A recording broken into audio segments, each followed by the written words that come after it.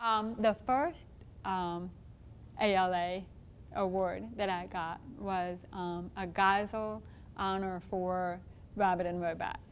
And that was such a crazy experience because I have to admit that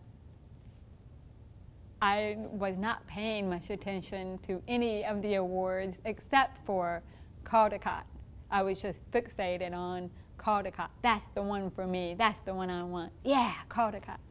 But so I had never even heard of the Geisel Award.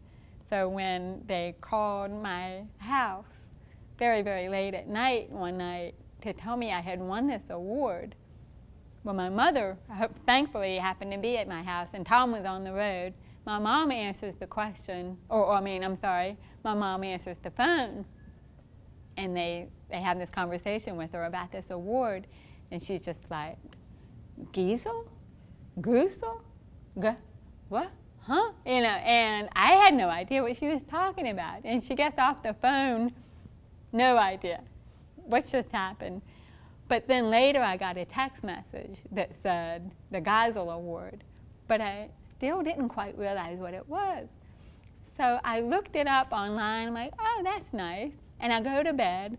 And then at 2 in the morning, I just wake up like, oh, this is a really big deal. Oh, man. And then I got excited. But that was just bizarre.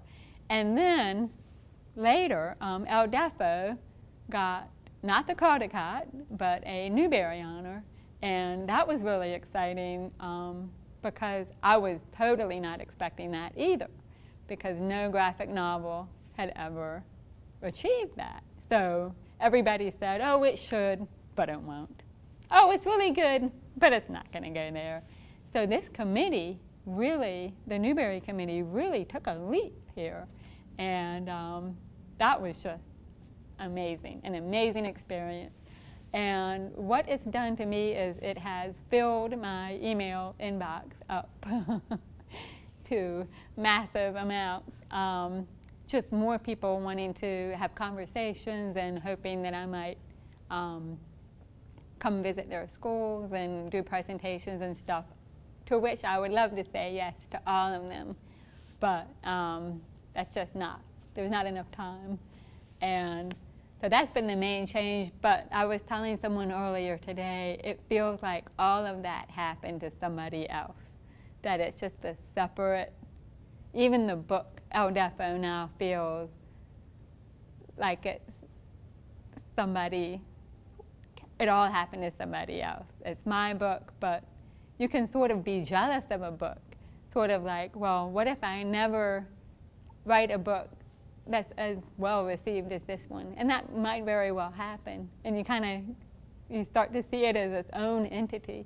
And that's sort of how it felt with the medals too, that it's just this ethereal thing that, but that really did happen to somebody else. So, but it, total honor. I mean, if anybody had said to me, oh, you'll be recognized for your writing, I would have just laughed in their face, you know. Caldecott. So, um, so that was kind of neat that I had come, come to this as an illustrator, but have come out of it as almost more recognized as a writer. So that's kind of neat.